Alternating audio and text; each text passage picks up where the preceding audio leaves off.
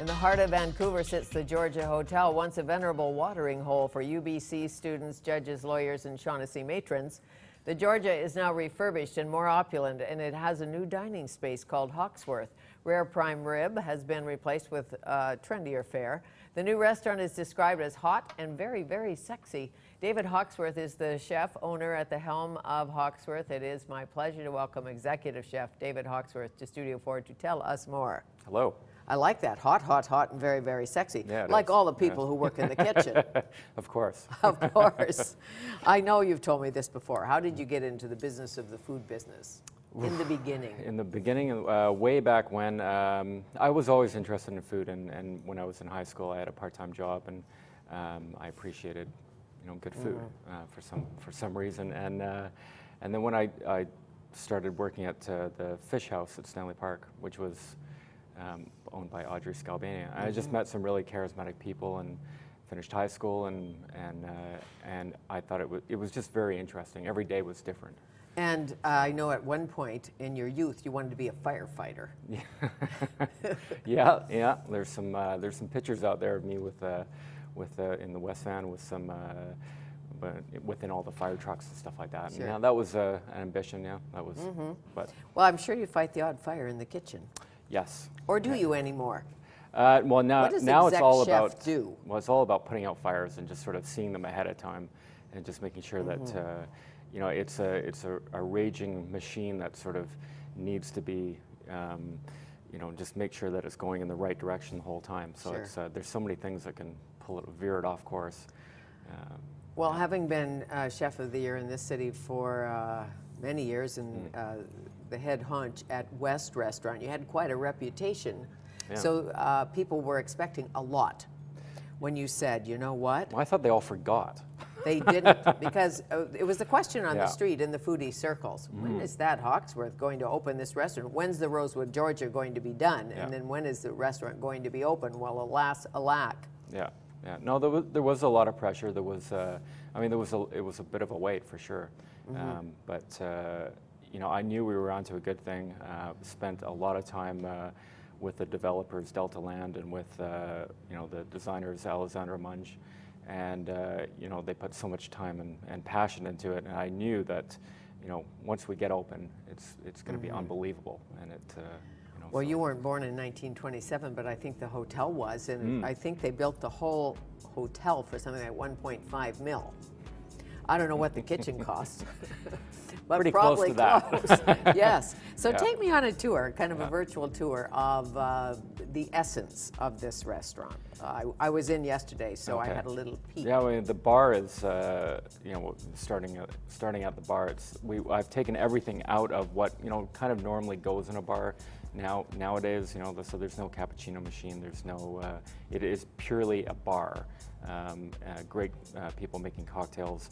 Uh, Brad Stanton's uh, the bar manager, Mm-hmm. lounge, uh, lounge manager there. He makes phenomenal uh, cocktails.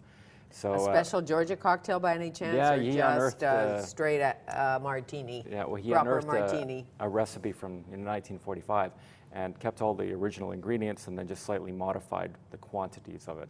And uh, I think we've sold um, thousands of them already. Um, they're just, you know, they go down way too quickly. Oh. I'm sure. well, you know, when I immigrated to Vancouver, it was the only restaurant in town. Well, one of the only. Mm-hmm. You know, everybody went to the Georgia. If you had a birthday or a fancy something, Yep. Georgia Hotel. Yeah, everybody's got a, a story about it. that's for Everybody sure. does. Yeah, yeah. Mhm. And I think Grace McCarthy had her flower shop there, and Webster worked out of the Georgia. And Yeah. Uh, those of us who, who go back a bit will all tell you a million stories. But Yeah. back to the revitalization of this hotel. Tell me about the artsy part. I saw a Rodney Graham on the wall. Yeah, Rodney would uh, would dine at West kind of like four or five times a week sometimes, and uh, Mm. I sort of you know became friends with him. And I, I had this idea when I worked back in the UK was Marco Pierre White and Damien Hirst kind of got together Yes. and, and did Quo Vadis, and and um, and I thought you know if I ever get it together, I'd, I'd like you know to um, have Rodney uh, do something in, a, in in one room. So I approached him about it, and, um, and we've got a 35 foot. Uh, piece uh, called Yes. Psychomania, which is based on a, uh, a zombie movie. Quite fitting. It's really beautiful, even though it's psychomania, and sometimes uh, hungry patrons can be a bit psycho. Yeah, And sometimes the odd waiter can be a bit chef. off, or the chef. I hear tell. Yeah. I- so, uh, and then we're also we're working on uh, some some more art for the uh, for the bar right now. So I'm looking- Okay. Uh, hopefully that'll happen. Local artists, is that important to you? Uh, well, I'm going to mix it up. I'm going to get somebody. Well, hopefully some Damien Hirst. So. Uh, Wow. Yeah, that would be. Uh, that's going to hopefully happen the next couple of weeks. Damien Hirst. That's Yeah. important. Yeah. An artist, an important artist. Uh, and I saw a Brian Bolton, beautiful Brian Yeah. Bolton uh, of you. Yeah, not naturally something I'd want to do, but my, you know, my part, uh, business partner said, "Oh, you've got to see this," and I'm like, ah, "You know, really, you know," and um, and then uh, they showed me some some of the work, and I said, "Okay, well, you know, let's Yeah. have a look." And uh, it took him four months, and painstaking. It's done by, uh, you know, he took took a photograph and then did, did it by hand by graphite, Yes. and uh, it's it. You can be, you know, three inches away from it. And it looks I know. like He's uh, a brilliant artist. like a photograph. His uh, boy series was spectacular. Why didn't I buy one? Well, I guess I better get on it. Yeah, you should. Yes, I should. So, uh, back to the restaurant, Mm-hmm. uh, the menu, figuring it all out.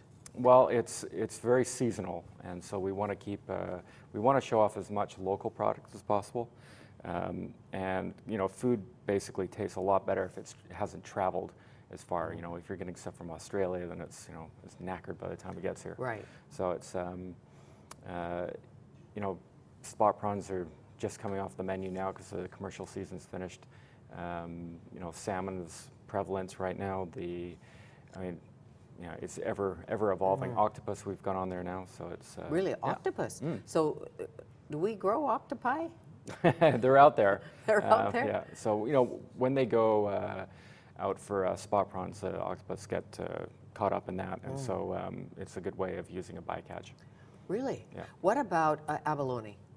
Uh, you can get some nay. farmed from uh, from California. We don't have any on the menu right Mm. now, but uh, yeah, it's, you can get farmed from, Mm-hmm. from there. But yeah, it was very prevalent along the coast here, but uh, you know they don't reproduce very quickly, and they uh, you can wipe out a, a bay in, in you know in a day, and then that's it. It's gone. And. Sure, they were endangered for a while, I know, and you were not supposed to bring them home. Yeah. Mm-hmm. Yeah. So the mix, uh, putting uh, this together, for Mm-hmm. instance, tell me what goes through your brain, Yeah, your well, creative um, brain. You know, there's a few of us in the ki- uh, kitchen, uh, Kristian and myself, who uh, Kristian Eligh, um, you know, organizes the kitchen. Then we'll talk about what we uh, want to see on the menu, what uh, you know uh, people are wanting. So something like this, we're using a, uh Oyama uh, prosciutto, so it's a free-ranged um, organic uh, Oyama pork. from Granville Island? Yeah, yeah. And so, um, yeah, well, they'll, I think it's about cured for about a year and dried. And then uh, we have some smoked buttermilk. Um, like it's a panzanella, like a bread salad. So we'll use uh, day-old focaccia, um, some shaved Smart. fennel. Budget. Yep. That- that's the whole key. Some grilled pear, and then um, and then some ramps.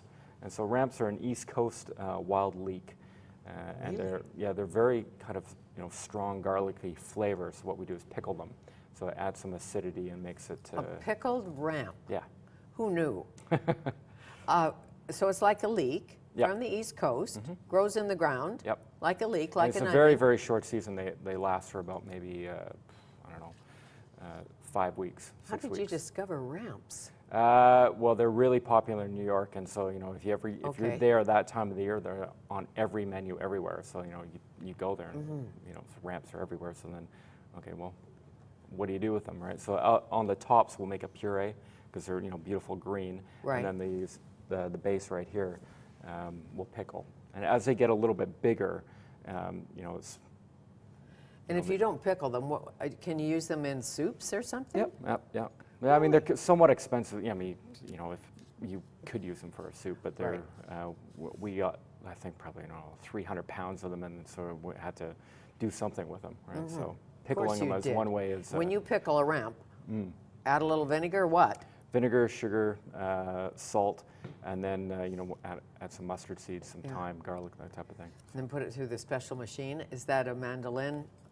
Uh, no, we'll just slice that one. Just slice Yeah. it. Okay, now s- smoked buttermilk? Really? Yeah. um, yeah, you see it on a few menus here and there. Um, and uh, Kristian was uh, came up with that one where uh, you know, what we'll do is, uh, you know, warm up the buttermilk with, with some acidity. It kind of splits out, and then um, and then we have a, a polyscience smoking gun, and so we can um, add our chips to it, and then it'll just infuse that smoke flavor. That's Wow. quite interesting. That's a lot of work, David. Yep, well, that's what it's know, about in the kitchen. That's that- what makes it interesting. Well, and it's so pretty too. Yeah. Not only uh, does it taste good, Mm-hmm. because you, you say you use local, finest ingredients, interesting ingredients. Do you travel a lot uh, to New York and Paris and around the world? Uh, not as much as I'd steal like, ideas? but uh, no, I did. Uh, you know, quite a few years ago, did Mm-hmm. a lot of traveling, and over the years, been uh, uh, fortunate enough to, to eat in, you know, uh, all over Well, and you worked and in Italy. Europe, right. Yeah, I was there for ten years. So 10 years, so you that was- picked up a lot there. Yeah. But you didn't meet Elvis and you didn't meet Frank Sinatra, and now you have the ghost of Elvis and. Sinatra roaming I know. around. It's great. I, I, it's funny because you know six years ago, or even you know kind of longer than that, that uh, that restaurant was closed. There was nothing there, Mm-hmm. and uh, I knew that you know, or I had a, a gut feeling that if we could get open there, it would be, we'd be good. So it was um, you know it was a dream come true to Right. actually uh, to look out across the art gallery and six lanes of traffic and just busy bustling Vancouver. Sure, and you also don't want it to be too opulent so that people feel intimidated. No. You want it to be beautiful. I mean, I'm putting words in your mouth, but does that make sense? Absolutely. I mean, you know, I don't want to be that special occasion restaurant. I want people to. I mean, it is in a way, but it, at the same time, it's. Uh, you know, you, we have people coming two or three times a week, so it's. Uh, Sure. So if you're staying in the hotel, can you stay in the hotel? Or is it just residences now? No, the hotel is uh, Hotel fully still functioning now. so, Still yeah. functioning. Yeah. The Rosewood, I thought it was. Yep. Rosewood, Georgia Hotel. The Rose- but you can live there too. Yeah, the private residences. So uh, Hmm. there's a few left if you'd like to buy one. Oh, not a problem for me. well, what a dream though. To say, I think I feel like a little breakfast. Can I come down and have a, a Mm. I know. I know. There's. Uh, yeah, it's a great spot. I mean, the uh, I think the residences will be finished uh, next year, and Wow. that, uh, the hotel is just stunning. So it's. Uh, Well, and the idea of being able to go down and have a, a lovely dinner. Yep, or a cocktail, or with- both. Or, well, that's the thing, because you won't get arrested on the elevator. No. No. well, you might. you might. Well, that's true. So tell me about your uh, fishing club, West Coast Fishing Club. Mm-hmm. Yeah, What's I- going I- on been there? I know you give back to charity a lot. Yeah, well, it's uh, I love fishing, um, and uh, yeah, been working with the West Coast Fishing Club for a number of years, and uh, they started up a, a charity, um, Fishing for Kids, and approached me and said, you know, would I like to help out with uh, on this, and it was a no-brainer for me. Um, there's lots of uh, friends that go on it now, and I think they've raised something like two million dollars in uh, in six years, um, if not more. Really? Yeah, yeah. And there's only uh, only 50 people go. Um, it's a beautiful part of the world. Are you up at Langara? Yes. Oh. Yeah. Yeah. No kidding. Yeah. It's ridiculous. It's I- ridiculous. And apparently, I have people uh, who have fished there for years who I know well. They've never taken me, Yeah. but they tell me the food's great. Yeah. It's spectacular. I spend a lot of time in the uh, in Haida Gwaii and Yeah. places like that. But gee, yeah. No, it's a uh, lot of fun. yeah. It's uh, yeah, I mean, you need a vacation after you've uh, finished that Mm-hmm. uh, little trip, but it's uh, four uh, four days up there. Um, you know, the fishing I, I heard last week was just ridiculous. It was something back from like the 70s where people were catching 80 fish a day. Um, yeah. So, And they have great guides at Langara, Yeah. Yeah. for sure. Uh, do you pull out a helmet once a year or what? Um, you know, it's funny. I, I get so wrapped up in the salmon fishing that I don't really end up going halibut fishing because it's uh, you know, to go offshore and get uh, thrown around out there. Well, when a top chef catches a salmon, Mm. what do you do with it?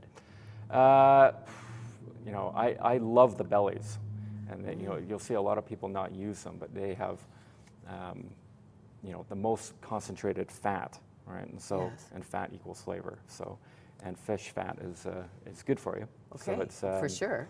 Yeah, um, you know, li- lightly cooking the bellies and uh, just with a little uh, chimichurri or something uh, kind of acidic and um, yeah, something very simple anyway. Sure. Yeah.